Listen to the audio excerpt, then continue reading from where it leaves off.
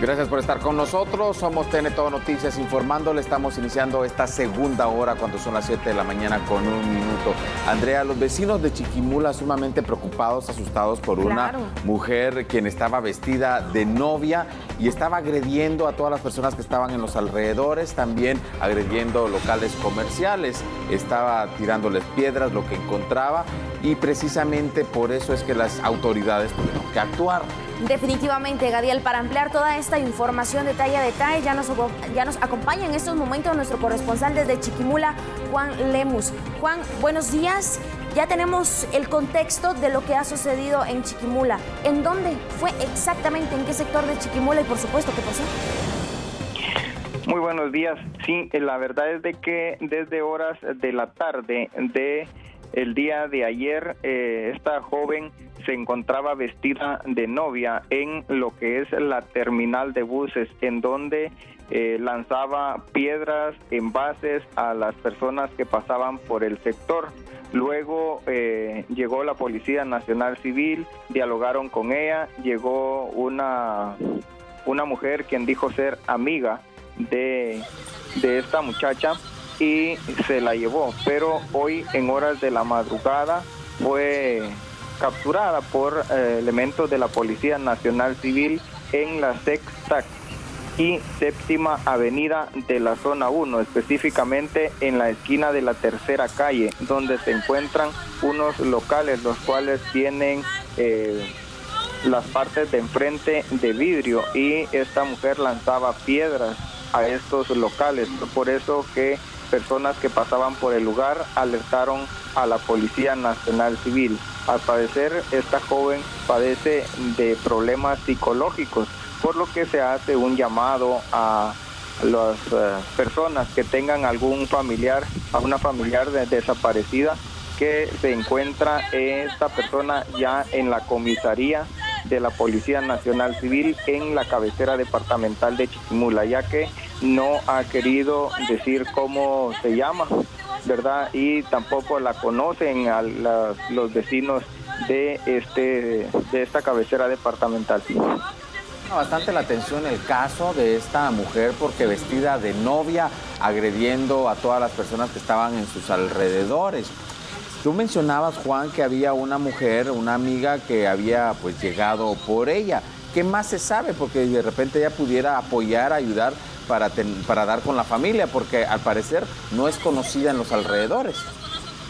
Sí, ella eh, adopta aquello de decir, a él lo conozco, a ella la conozco, ella es mi amiga, pero esto lo hizo el día de ayer en la tarde para que la Policía Nacional Civil no, no se la llevara, o sea, le, le teme a las autoridades y es por ello de que ella adopta que cualquier persona que se le acerca para ella es amiga, pero la verdad es que luego consultamos con, con, la muchacha y ella dijo, no, yo no la conozco, pero tuve miedo a que me agrediera y como la vi que, que se me pegó, pues lo único que tuve que hacer fue apoyarla, dijo ella, pero eh, me imagino que en horas de la noche se salió de, de, la vivienda en donde estaba y salió a lanzar piedras o, y o todo tipo de objeto a los locales de vidrio que se encuentran entre sexta y séptima avenida de la zona 1, específicamente sobre la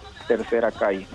Juan Lemos, es una situación preocupante porque de la nada que aparezca una persona totalmente desconocida y empiece a actuar de esta manera en, un lugar donde hay varias personas, como lo es la terminal de buses de Chiquimula, donde varias personas van caminando, varios negocios hay también en el punto. Por un lado, ¿se sabe qué van a hacer las autoridades con esta persona? Porque no ha dicho nada, ni siquiera cómo se llama ni cuántos años tiene. Lo único que se puede calcular la edad al momento de verla. Y por otro, también, si se tiene el dato de cuántos negocios se vieron afectados en el área de Chiquimula. Sí, hasta el momento son tres negocios los que se vieron afectados en la tercera calle, entre sexta y séptima avenida de la zona 1.